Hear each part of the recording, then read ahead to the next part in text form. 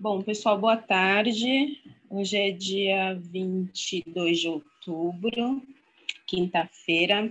Vamos aí terminar os conteúdos que faltam, ok? Hoje a gente vai ter aula de matemática, português e ciências, para encerrar aí o, o, terceiro bimestre. Bom, vamos iniciar com matemática, então? Abram a apostila de vocês na página 128, que nós vamos dar continuidade aqui aos exercícios dos números ordinais, né? Lembram os números ordinais que nós fizemos os exercícios ontem? São números que indicam o quê? Uma ordem, uma posição, né? Ou numa classificação de competição, ou a ordem, né? A posição das pessoas numa fila, ou quando eu vou fazer uma lista de coisas, eu também posso é, colocar ali, né? Fazer essa lista por meio dos números ordinais, o que eu vou comprar e tal. Bom, na página 128, nós temos lá os exercícios 4, 5, 6 e 7, tá? Eu vou compartilhar a tela com vocês, a tia vai explicando, e aí eu vou dar é, um tempo para vocês fazerem, tá? Qualquer dúvida durante o, a execução dos, dos exercícios, vai perguntando e a tia vai, vai conversando com vocês, tá? Primeiro eu vou compartilhar a tela para explicar aqui como é que eles vão ser realizados, tá? Deixa eu repetir aqui a página 128, caso alguém tenha, não tenha escutado.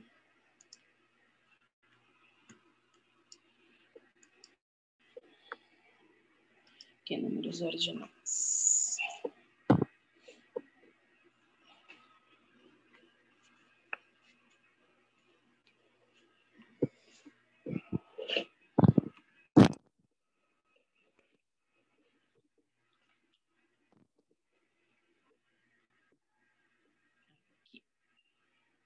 Página 128, exercício 4. Olha, prestem atenção. A tia vai explicar primeiro, tá? Os, o 4, o 5, o 6 e o 7. Aí depois eu volto para a sala com vocês.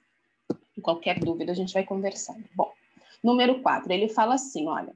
Número 4 aqui, vocês têm que prestar bastante atenção, tá? Porque, ó, é um desafio aí para vocês pensarem. Ele fala assim, oito pessoas entraram em um elevador. Uma pessoa, uma pessoa desceu no segundo andar e duas pessoas desceram no oitavo andar. O elevador parou dois andares acima e o restante das pessoas desceu. Então, eram oito pessoas ao total que entraram no elevador.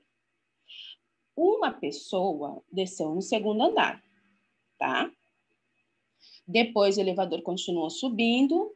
Quando ele para no oitavo andar, duas, mais duas pessoas dessas oito, né, no caso das sete, porque uma já tinha descido, desceram no oitavo andar.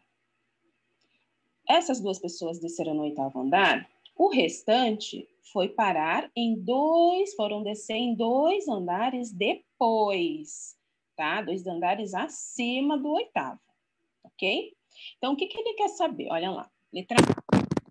Que andar o restante das pessoas desceu? Então, aquelas que ficaram é, no elevador, elas desceram em que andar?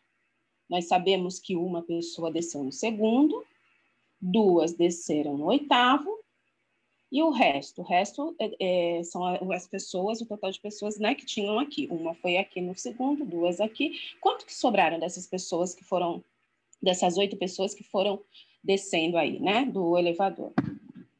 Letra B. Perdão, aqui é a letra A, em que andar elas desceram. E na letra B, quantas pessoas desceram nesse andar?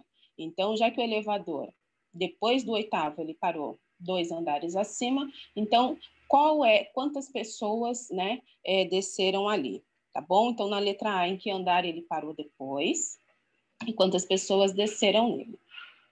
Número 5. Escreva um número original correspondente em cada situação. Olha, nós temos aqui um calendário que mostra o ano e os meses do ano, tá? Então, 2020 é o ano e os meses aqui é abreviado. Então, a gente tem janeiro, fevereiro, março, abril, maio, junho, julho, agosto, setembro, outubro, novembro e dezembro. Então, o que, que ele quer saber?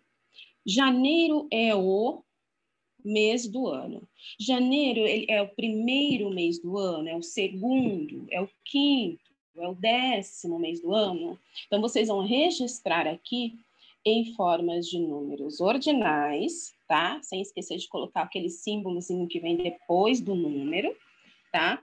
Qual é o mês é, qual é a ordem aí dos números dos meses. Então, janeiro é o primeiro mês do ano, é o segundo, qual é? Você vai registrar aqui. Letra B, maio é o... Qual é o mês de maio? Ele é representado, né, é o, é, no número original. Eu tenho primeiro, segundo, terceiro, quarto e maio. Qual é? Depois, dezembro, a mesma coisa. Então, vocês vão contando e vão registrando aqui em números ordinais, tá? O número 6. A prima de Carla mora em um apartamento no nono andar. Se Carla mora três andares acima de sua prima, em qual andar Carla mora? Então, olha lá, a prima dela mora no nono. A Carla mora três andares acima da, da prima. Então, ele quer saber em que andar a Carla mora, tá? Representando aí números ordinais. E o número 7. Observe a imagem e faça o que se pede. Letra A. Circule de verde a terceira pessoa da fila. Lembrando que a fila começa a contar aqui, olha, da primeira menina aqui que está com, com a pastinha azul, tá? E letra B. Circule de azul a sexta pessoa da fila. Então, vocês têm que ir contando. Primeiro, segundo e assim por diante até chegar no último. Ok? Eu vou voltar aí para a sala com vocês. E aí, qualquer dúvida, a gente vai conversando.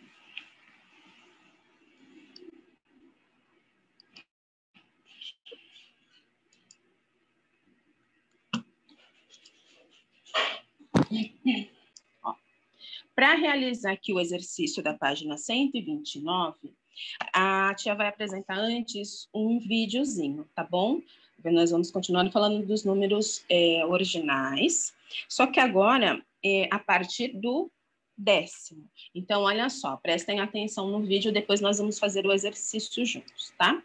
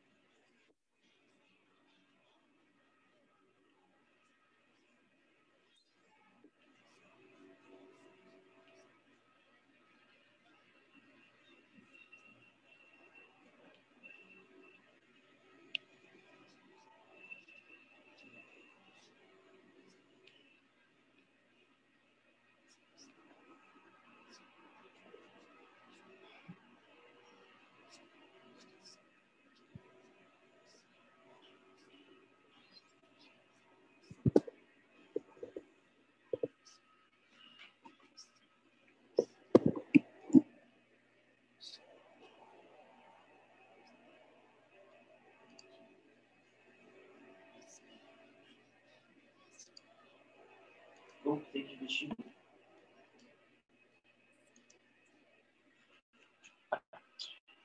Bom, gostaram aí do vídeo? Legal, né? Então, olha só. Não deu para ver, Leandro? Espera aí. Aí, vamos compartilhar a tela. Ah, será que eu não tinha iniciado a transmissão? Ah, senhor. A cola apareceu. Então, mas agora eu tenho que voltar. Não sei voltar. Tia, Oi. como fala sim? É, essa forma, primeiro, segundo, terceiro, qual que, como que fala? Centésimo. Ô, Centésimo. louco. Então, peraí, que eu vou voltar aqui, pessoal. Aí agora, peraí. Peraí, que eu tinha minha. Eu já fiz a página 129. Eu já fiz a página 129. Vamos lá. 129. Olha lá. hot, Vamos lá. windy, stormy, Então, rainy, tá- vocês estão vendo o vídeo agora? Olá! Tudo bem com você? Nossa aula de hoje é sobre os números ordinais. Os números ordinais fazem parte do conjunto dos números naturais e são aqueles que indicam a ordem ou posição dos elementos em uma sequência ou lista. Usamos os ordinais para estabelecer a ordem nas seguintes situações: indicar o primeiro dia de cada mês. Ah, lembrando que essa regra vale apenas para o primeiro dia do mês, hein? A ordem das pessoas em uma fila. Opa, furar a fila não vale, tá?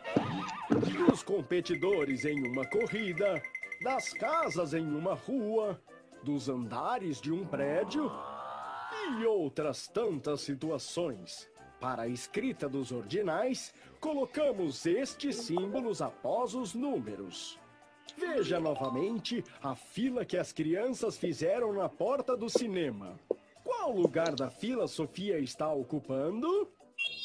Isso mesmo! A Sofia está ocupando o primeiro lugar da fila. Neste caso, dizemos que ela é a primeira. Usamos este símbolo porque a Sofia é do gênero feminino. Já o Pedrinho está ocupando o segundo lugar. Ele é então o segundo da fila. Este é o símbolo usado quando nos referimos ao gênero masculino. Observe na tabela como é feita a leitura de alguns números ordinais. Na primeira coluna da tabela, temos os ordinais do primeiro ao nono. Eles são primeiro, segundo, terceiro, quarto, quinto, sexto, sétimo, oitavo e nono. Agora, veja como fazemos a leitura dos ordinais a partir do número 10, na segunda coluna da tabela. Nesse caso, ele é chamado de décimo. O seu seguinte é o décimo primeiro. E por aí vai. A partir do número 20, ou melhor, do vigésimo, seguimos o mesmo padrão. Vigésimo primeiro, vigésimo segundo, vigésimo terceiro. E assim por diante. Sabendo o nome dos ordinais a partir do trigésimo, como podem ver na terceira coluna da tabela, conseguimos fazer a leitura dos demais, que são quadragésimo, quinquagésimo, sexagésimo, septuagésimo, octogésimo, nonagésimo e centésimo. Quer ver como isso funciona na prática? Voltando ao exemplo dos competidores na corrida. Você consegue descobrir em qual posição o senhor Lobão está? Para isso, basta contar as posições desde o primeiro até ele. Sabemos então que são oito posições, ou seja, o senhor Lobão é o oitavo. Não desista, Lobão! No caso dos andares de um prédio, funciona da mesma maneira. Em qual andar o patusco está? Se contarmos os andares do primeiro até lá, descobrimos que são 23 andares. Ele está, então, no vigésimo terceiro andar. Viram só? É muito simples. Hum, será que a fila para comprar pipoca está muito grande? Xiii, o filme vai começar! Até a próxima!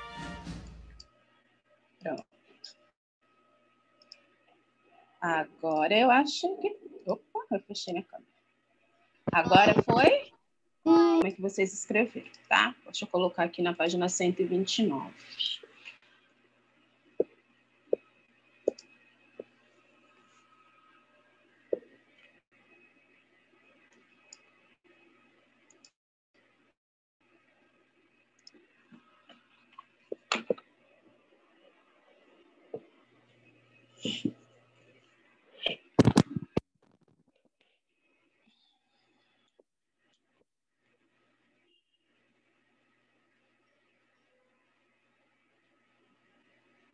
Olha.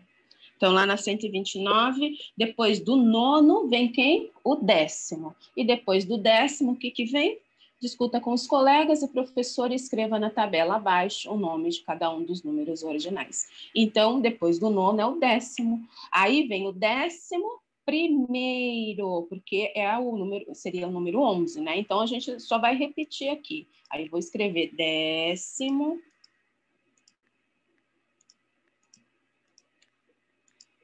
tem acento primeiro. Tá? Décimo primeiro.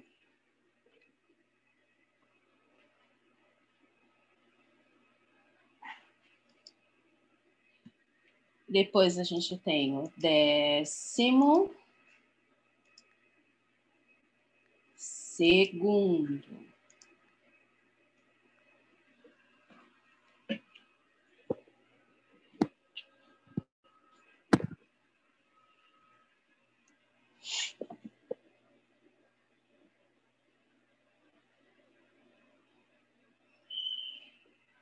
Depois nós temos o décimo terceiro.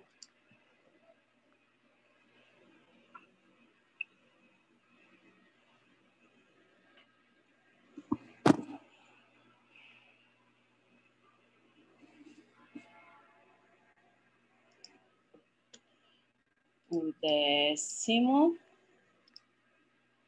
quarto.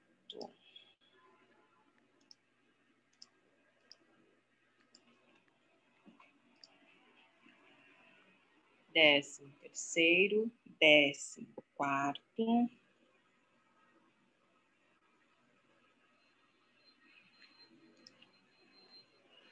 depois décimo quinto.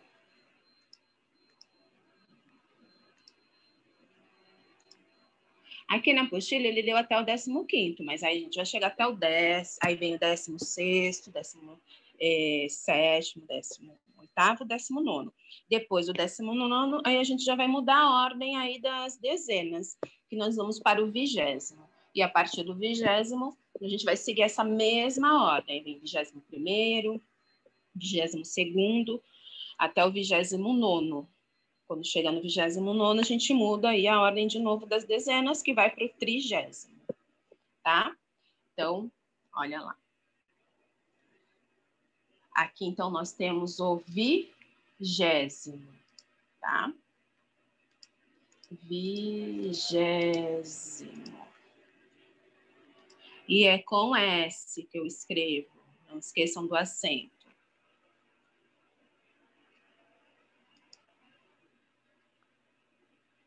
Vigésimo. Depois eu tenho tri Gésimo.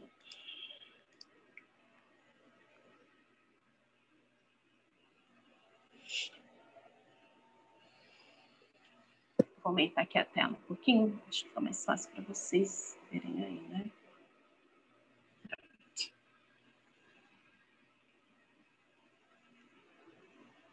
Depois nós vamos ter aqui o quadragésimo.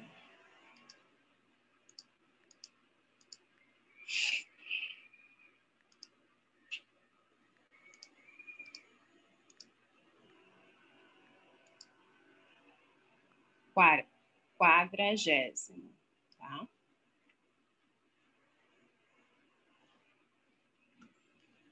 Depois, o quinquagésimo. Quinquagésimo. Lá. Quinquagésimo.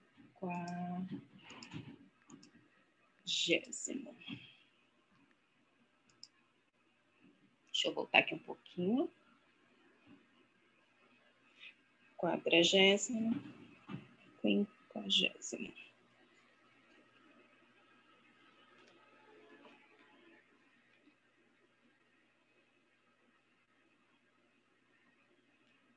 Depois nós vamos, vamos ter o sexagésimo.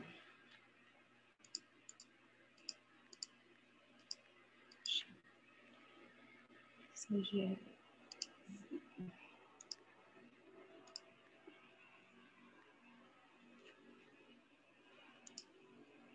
Sexagésimo.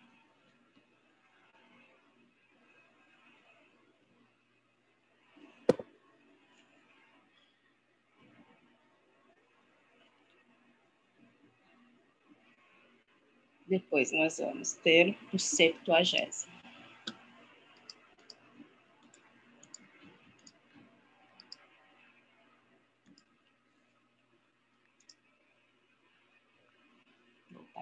Pouquinho para vocês verem direitinho aí como é que é escrito.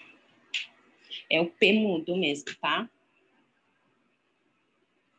Façam a correção aí da escrita.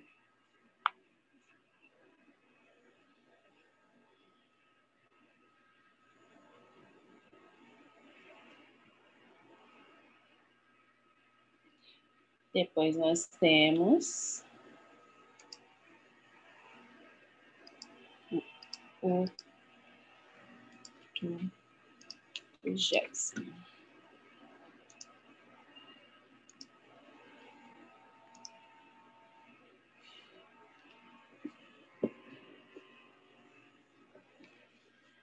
Octogésimo.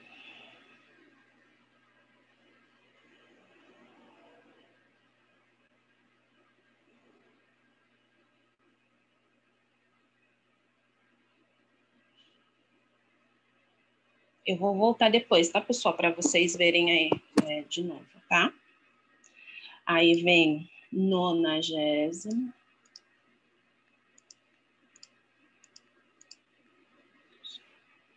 Nonagésimo.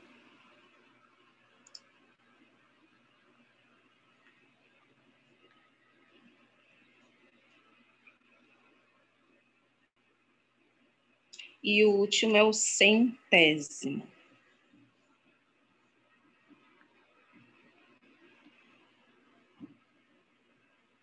E o último aqui é o centésimo. Olha lá. Centésimo.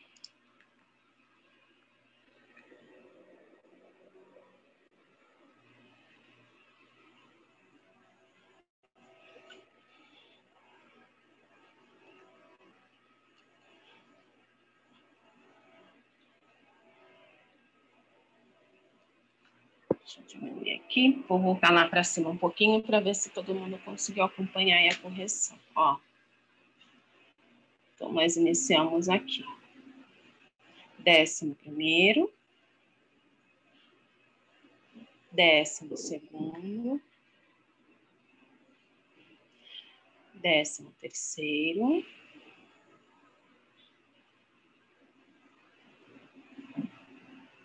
O décimo quarto, décimo quinto, vigésimo, trigésimo,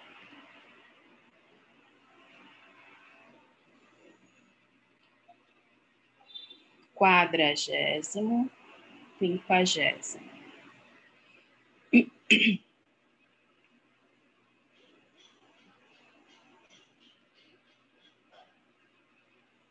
depois sexagésimo, septuagésimo,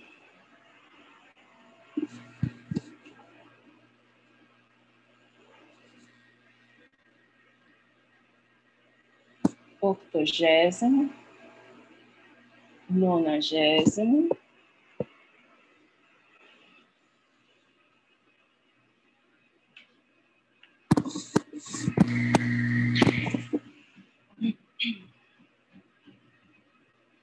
e o centésimo. Ok?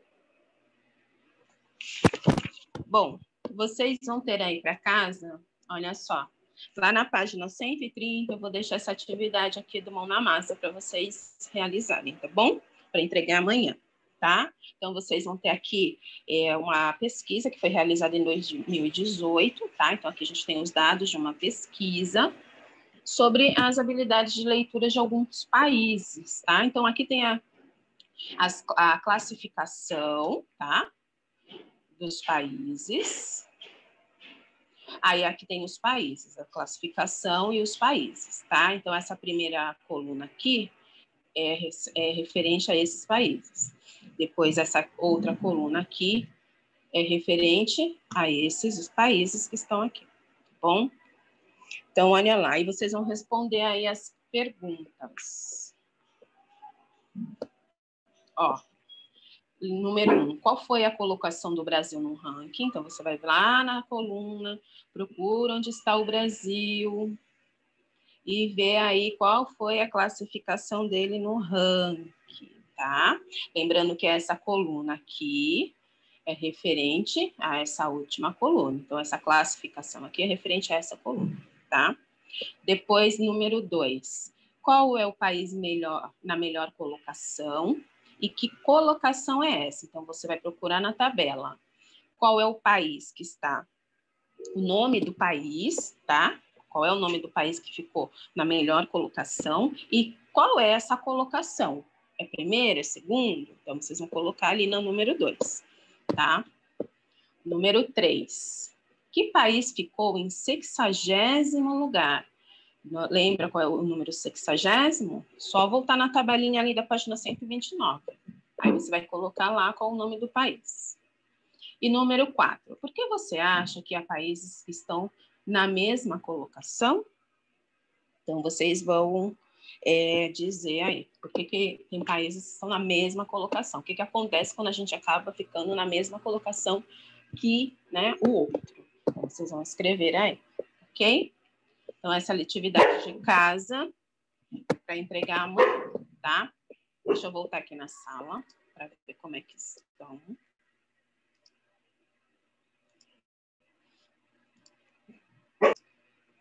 Olha só, português é página 64.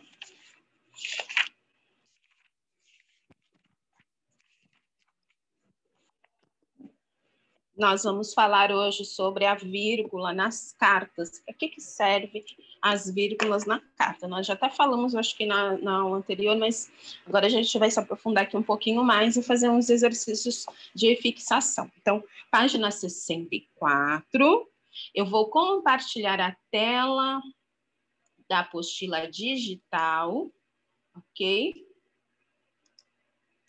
Qualquer coisa, pessoal, vocês me avisem, tá? Se não estiver aparecendo, tá bom? Deixa eu compartilhar aqui a tela, então. Vamos lá. Prestem atenção aí.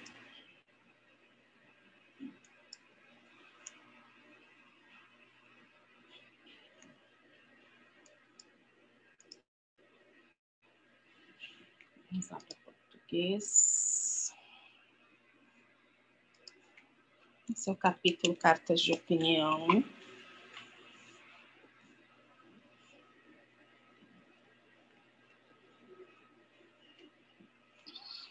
Página 64.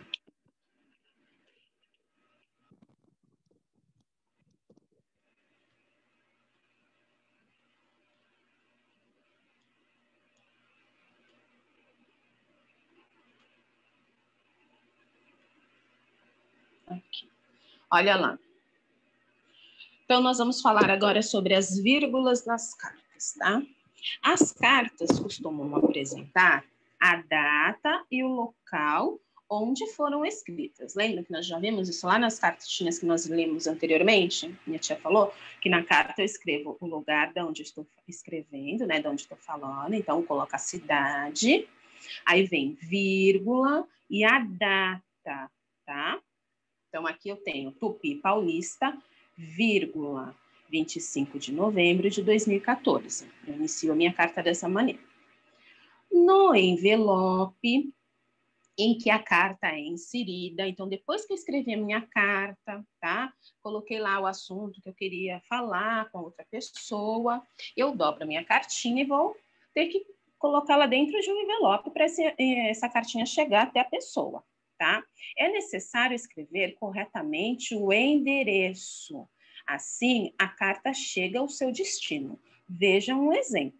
Então, eu comentei também na, na aula que nós vimos lá a primeira carta, a questão do envelope. Então, na parte da frente do envelope, na parte da frente do envelope, é, nós colocamos o nosso nome completo, nosso endereço, a cidade, país e o CEP. O CEP é esse aqui, olha, tá? Que é o código aí de onde você mora, tá? Atrás da carta vai o nome de quem? Do, do destinatário. Destinatário é para quem você vai mandar a carta, para quem você vai enviar a carta. Então, você tem que ter o nome completo da pessoa, você tem que ter o endereço completo dela, então, o nome da rua, o número da casa o apartamento, e apartamento, se for apartamento, o nome da cidade, né, o estado, o país, é, e o CEP. E aí aqui vem um selinho que a gente tem que comprar lá no correio para colocar na carta, tá? Nesse espaço. Então, olha só. Aqui, essa carta foi endereçada para quem? Para o Felpo, para o Felpo, né? Felpo, Felpo Filva, Rua dos Poetas, 111, Rapidópolis, Brasil. Aí vem o CEP. Então, a vírgula é usada nas cartas para separar local e data, que é o que nós vimos aqui. Então, estou separando aqui o local, ó, vou separar com a vírgula, da data. E ela também serve para separar o quê? O endereço e o número. Qual é o endereço do, fel do feltro? Ó, é Rua dos Poetas, vírgula. Aí eu coloco o número, 111, que é o, o número do, da casa dele tá? Também usamos a vírgula para separar o nome da pessoa com quem falamos, quando o texto está todo na mesma linha. É o caso do comentário feito para Ziraldo na sua página de uma rede social. Então, aqui no caso daquela, daquele comentário que nós vimos na aula anterior, de uma leitora que leu o livro de, do Ziraldo, né? E aí ela colocou lá, Ziraldo, vírgula, como boa leitor, como boa mineira, que sente saudade do mar, e ela continua, tá? Então, aqui no caso, a vírgula vai separar aqui o nome, tá? Da pessoa com quem a gente tá, vai falar, né? Quer se comunicar, tá? Do resto da frase, ok? Mas o que interessa para a gente aqui hoje é a questão da vírgula na carta. Então, é quando eu separo o local, tá? Da data, ou o local, o endereço do número, ok? Então, vamos lá para a página 65. Mão na massa. Prestem atenção. Olha lá. Insira corretamente a vírgula para separar local e data. Então, na letra A, eu tenho lá o local e a data. Então, eu tenho Manaus, 20 de junho de 2020. Na letra B, eu tenho Teresina, 12 de julho de 2020. E na letra C, eu tenho São José do Rio Preto, 15 de janeiro de 2020. Vocês percebem que aqui, olha, foram usadas três formas de registrar aí, né, o dia, o mês e o ano, que nós já vimos também lá no, no bimestre passado, né, a questão do, do registro aí da, do calendário, né, das datas, dos dias, dos meses e dos anos. Bom, mas isso não é o importante agora. O que, é que vocês têm que fazer? Vocês vão colocar a vírgula no local correto, ou seja, vocês vão separar aí em cada frase, tá? O local da data por uma vírgula, ok? Então, vamos lá. Depois, o número 2, olha lá. Escreva no espaço a seguir o seu endereço completo. insira corretamente as vírgulas. Agora, no exercício 2, você vai escrever o seu endereço. Não é para colocar, é, inventar aqui um, uma data, né? Não é para colocar a cidade e a data. Aqui é, ele está pedindo o seu endereço. Lembra aqui, olha, na explicação, que na, no endereço do, do, do coelho, olha lá, Rua dos Poetas, vírgula, 111. Então, vou separar o endereço, que é o nome da rua, tá? Do número. Então, é isso que vocês vão fazer aqui no número 2. Só que aqui vocês vão usar o quê? O endereço aí da casinha de vocês. Ok? Então, vamos lá. Depois a gente retorna aqui para a apostila.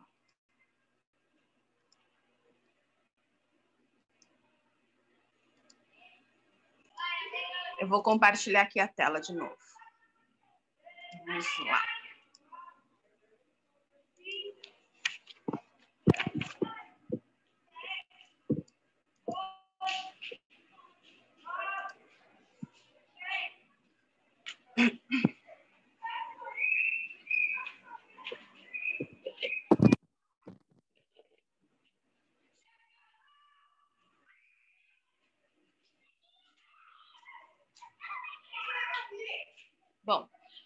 Para a gente encerrar aqui o conteúdo do terceiro bimestre, nós vamos falar aí sobre as palavras terminadas em AM e AOT, tá? Algumas palavras são terminadas em AM e AOT. E muitas vezes temos dúvidas na hora de usá-las. Observe a seguir alguma dessas palavras. Número 1. Um, as, as crianças lerão a obra Felpo Filva, a história do coelho que era infeliz. Número 2. As crianças leram a obra do a obra Felpo Silva a história do coelho que era infeliz. Qual das frases informa que as crianças já leram a história Silva? E qual das frases diz que os alunos ainda vão ler a história? Então, olha, na primeira eu tenho lá lerão e na segunda eu tenho leram. Então, qual das duas frases está me indicando, né, na terminação ali verbal, qual é que está indicando que as crianças ainda vão ler é, a obra? Então, a primeira frase. Então, quando a, o verbo ali, olha, ele termina com ão, isso quer dizer que ainda vai, é algo que ainda vai acontecer, tá? Então, estou me referindo aí ao futuro. Então, as crianças lerão a obra Felpo Filva, eles ainda não leram. Já na segunda, diz que as crianças já leram. Então, aqui já aconteceu. Aqui, olha, quando eu terminar o verbo, né? Ali, no caso, com AM, então a gente está se referindo ao quê? Ao passado, ok? As formas verbais terminadas em AM referem-se a algo que já aconteceu. Se quiser colocar aí do ladinho passado, tá? Para vocês lembrarem depois. Então, escreve aqui do ladinho, ó, passado. Se já aconteceu, é passado, já foi. E as formas verbais terminadas em AOTIL referem-se é, a algo que ainda vai acontecer. Então, eu estou me referindo ao futuro, ok? Então, se quiser escrever aqui do ladinho também, olha, futuro, que é algo que vai acontecer. Bom, Sabendo disso, olha só. Na página 66, nós temos essa atividade aqui, mão na massa. Complete as frases com as formas verbais adequadas. Então, aqui entre parênteses, olha, lá no final de cada frase, entre parênteses, vocês vão ter aí os verbos, tá bom? As, os, as formas verbais que vocês vão ter que, os verbos que vocês vão ter que colocar na forma verbal aí correta, tá? Então, na letrinha A, quando ele fala assim, as crianças tananã, sobre o livro ontem à noite. Então, as crianças é, conversaram, porque aqui é, o, é, a conversa, né? O verbo é conversa, conversar. Então, as crianças conversaram sobre o livro ontem à noite. Qual é a forma verbal aqui? Ontem, olha, quando está falando assim ontem à noite, é porque já aconteceu. Então, foi, é passado. Então, como que vai ficar aqui?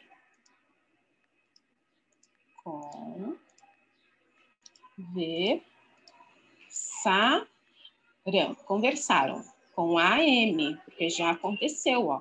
As crianças conversaram sobre o livro ontem à noite, tá? Então já aconteceu, ok? Na segunda frase, vocês vão usar aqui o verbo começar para encaixar aqui. E aí vocês vão ter que colocar ele na forma verbal correta, tá? Ou com a M ou com é, a OT, tá? Eu vou dar um tempinho aí para vocês fazerem e depois a gente vai para a correção. Ó, a letrinha A já fez. Aqui eu coloquei letra maiúscula, mas não é letra maiúscula. A letrinha minúscula. Tá? Então, vamos lá. Deixa eu voltar aí na sala.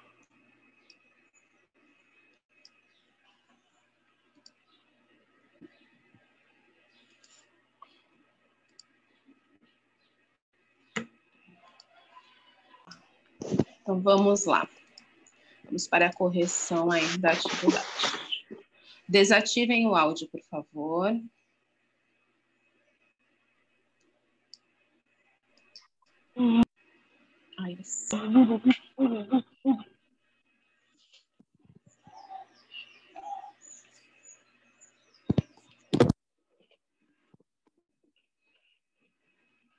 Então, página 66 aí, vamos lá para a correção.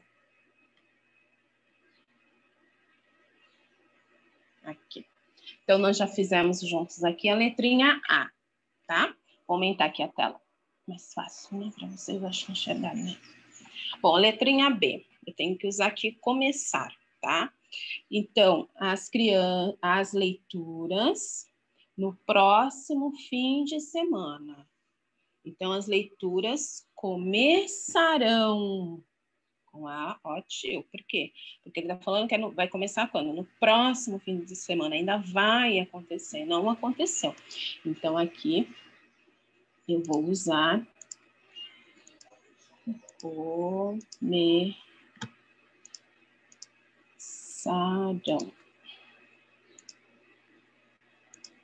Tá?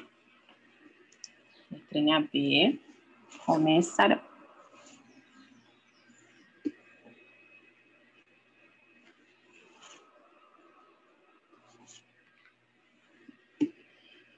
Letra C. Aqui eu vou usar o achar, o verbinho achar. Então, olha lá. Os alunos disseram ontem que acharam o livro muito bom. Então, eles disseram quando? Ontem. Ontem já foi, já passou. Então, aqui eu escrevo com a M. Eles acharam.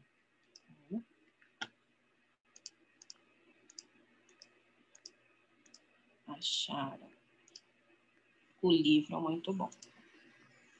Essa é a letrinha C.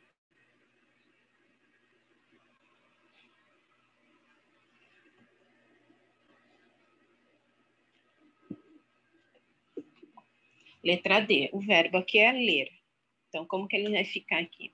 Os alunos adiantaram a leitura.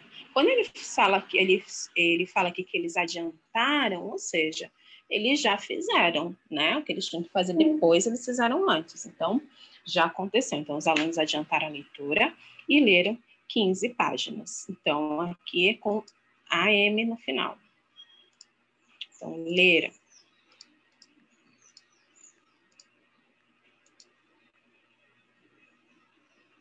letrinha D, leram, com a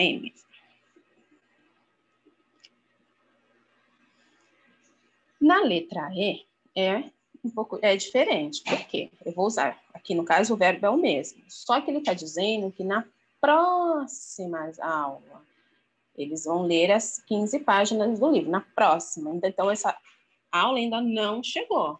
Então, é no futuro.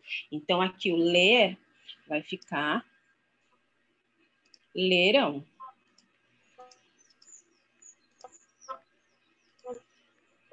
Leram, tá? Então, aqui nós temos aí, olha, a correção. Então, na letrinha A é conversaram, na letrinha B começarão, letrinha C acharam, D leram e letra E lerão, tá? Quando a gente não usa a, aí a como é que fala? O tempo verbal na maneira correta, a, vai alterar aí a frase, né? Fica errado a forma, né, de, de você falar a palavra, vai mudar aí o Ah, sentido aí da palavra, tá bom? Então tem que tomar cuidado com isso. Bom, feita a correção, nós encerramos aqui então português.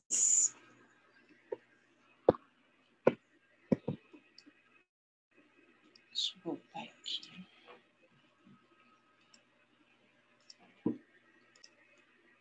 Olha, ciências, para a gente terminar, é página 170. Nós vamos aqui terminar aqui o grupo dos animais vertebrados, que nós já vimos os peixes, os anfíbios, os répteis e as aves. Então, hoje, para terminar o grupo dos animais invertebrados, nós vamos falar aí sobre os mamíferos, ok? Então, página 170.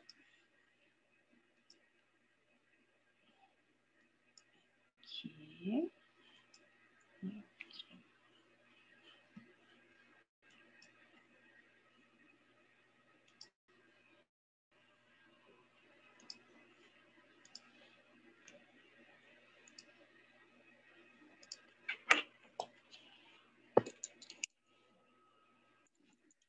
Então, vamos ver aí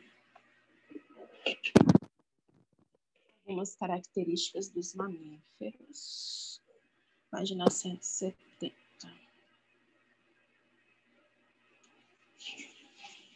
Aí, na última aula, o que nós falamos, vimos aí, né? Os répteis, como que é constituída o corpo né, deles, que uns têm carapaça, outros têm a escama, né? Troca de pele. Falamos sobre as aves, como que é a constituição do, do osso dele, dos, dos ossos deles, das aves, né, para poder é, ajudar aí na, na questão do voo. Nem todas as aves voam, lembra? Voa. E hoje a gente vai falar aí sobre os mamíferos. Bom, então vamos lá. Mamíferos. Os mamíferos são animais que possuem glândulas mamárias e o corpo coberto por pelos. Os pelos ajudam a manter a temperatura do corpo, já que as glândulas mamárias produzem o leite, que é utilizado pelas fêmeas para a amamentação dos filhotes. Então, a gente tem aqui a imagem de um filhote de foca sendo amamentado. Nós vamos conhecer agora uma diversidade de mamíferos, porque aqui a gente tem, no, no grupo dos mamíferos, a gente tem um grande. é, é, esse é um grupo bem diverso, bem diversificado, assim, tá? E eles podem ocupar também, assim, vários ambientes terrestres, tá? Então, olha só. Diversidade de mamíferos. Os mamíferos chamados placentários são os que apresentam placenta, que é o órgão que faz a troca de substâncias, nutrientes, gases e secreções entre a mãe e o feto. Então, durante enquanto o feto está lá dentro da barriga da mãe, ele está protegido ali na placenta. E é pela placenta que ele vai receber ali o oxigênio, né, para poder respirar, os nutrientes, para ele poder, né, é, crescer forte, tá? Grande parte dos representantes desse grupo é vivípara, ou seja, o novo ser se desenvolve dentro do corpo da mãe. A maioria dos mamíferos faz parte desse grupo. Dentre eles estão o humano, então nós, né, pessoas, seres humanos, o cachorro, o cavalo e o elefante, mas não só esses, né? Nós temos aí quem mais? Eh, gatos, né? Entre outros. Há também os mamíferos que colocam ovos, como o ornitorrinco e a equidna. Equidna. Olha lá, aqui a gente tem o ornitorrinco, tá? Na imagem 1. Ele tem esse bico aqui, parece um pato, né? E a equidna, na letrinha B, parece um porquinho espinho.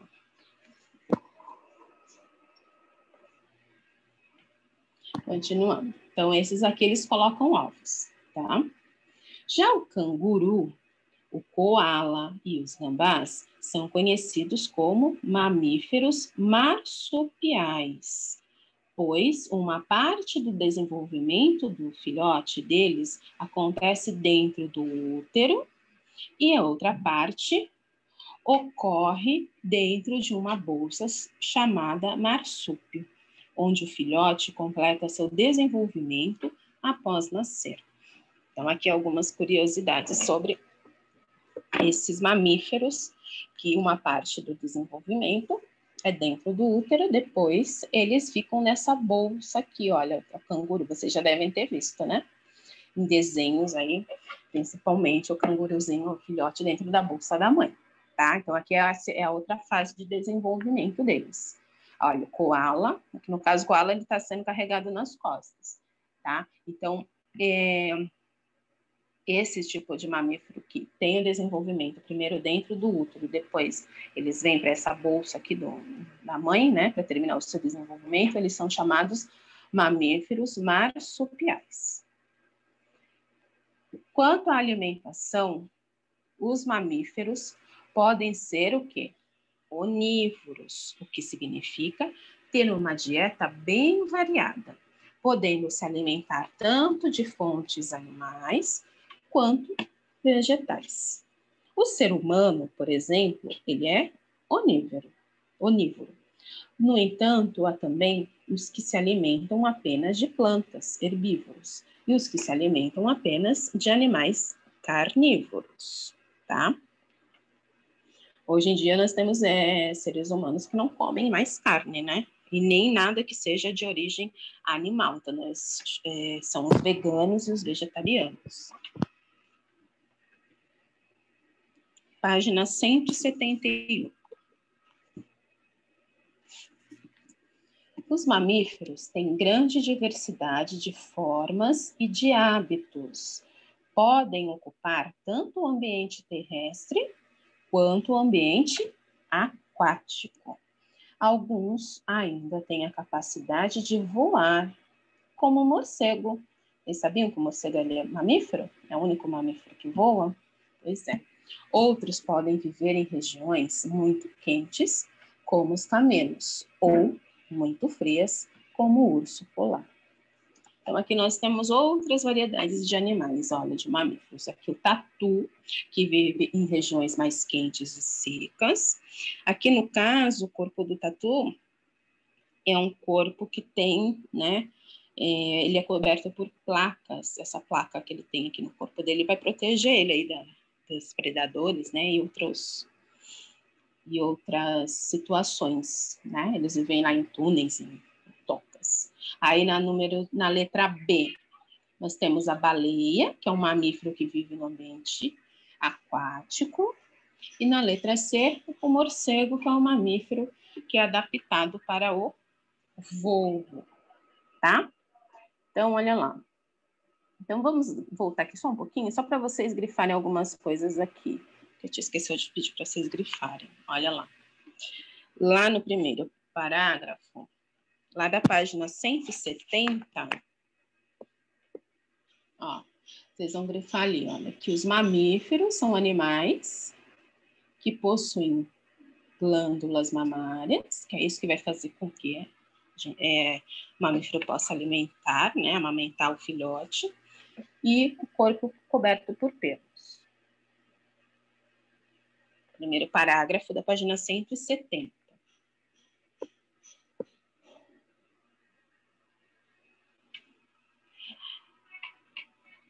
Aí, olha só, quando fala ali da diversidade de mamíferos, a gente vai, vai grifar aqui, olha, que os mamíferos placentários, eles apresentam o quê? A placenta.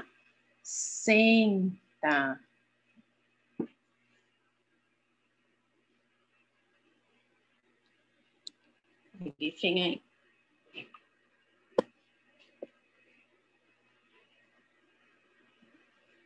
Ali embaixo, depois da imagem do ornitorrinco, a gente tem aqui, olha.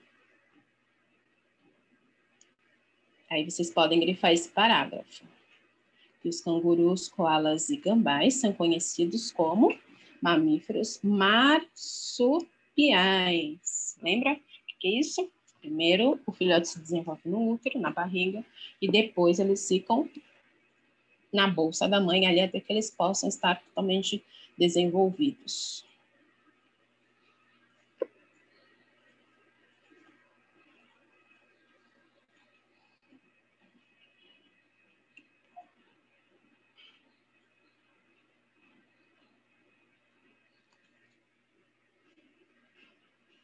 Na página 171, olha lá.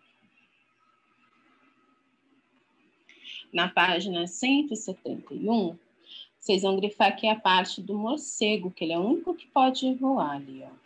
Alguns ainda têm a capacidade de voar, como morcego, tá? Então, grifem aí. Feito isso, nós vamos realizar agora a atividade do mão na massa para a gente fechar aqui esse assunto, tá? Sobre os animais vertebrados aí. Vamos lá? Página 171. Então, na página 171, ele pede que a gente relembre as características estudadas de cada um dos grupos vertebrados e complete a cruzadinha de acordo com as dicas a seguir.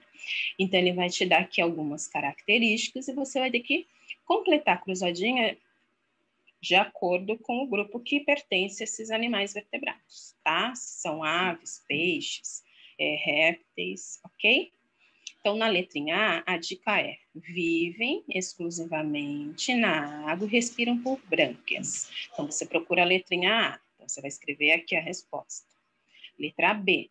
Dependem da água para se reproduzir, mas, quando adultos, podem viver no ambiente terrestre. Letra B. Aqui. C. Tem a pele seca, o que evita, evita desidratação. Letra C, aqui em pé também. Letra D, tem o corpo coberto por penas e tem capacidade de voar. Letra D.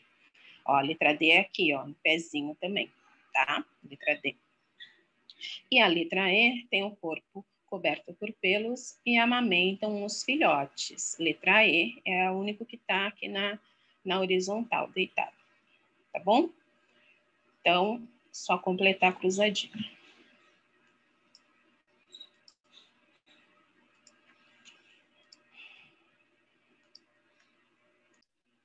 Nós, então, agora encerramos aí as atividades do terceiro bimestre, tá bom?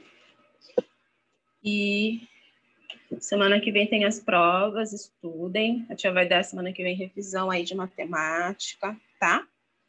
Então, estudem a tabu... Opa. Estudem aí a tabuada para poder, principalmente para as provinhas, tá bom?